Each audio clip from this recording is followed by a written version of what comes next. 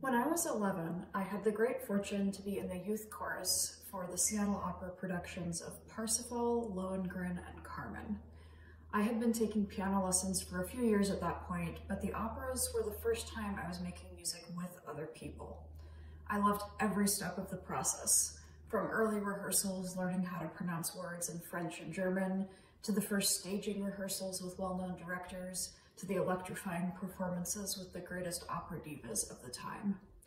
Most importantly, everyone I met was kind, welcoming, and committed to artistic excellence, and I now strive to create and be a part of similar environments. For the first time, I knew that I wanted music to be a part of my life forever. I was about to start my freshman year of high school when I attended my first orchestra camp. I had been playing bassoon for only two weeks and was barely able to assemble it correctly. On the first day of camp, I played my first march on page three of my beginning bassoon method for the seating audition. To no one's surprise, I ended up last chair in the lowest orchestra with all the six-year-olds whose cellos were as small as normal violins. Despite my humiliation at my own incompetence, I quickly became grateful that I had been thrown into the deep end. Not only did I radically improve as a bassoonist during the camp, but I made lasting friendships with a variety of excellent musicians who welcomed me into the music community.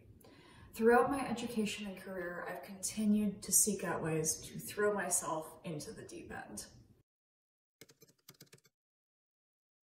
I'm originally from Seattle and regularly sub on bassoon and contrabassoon with the Seattle Symphony.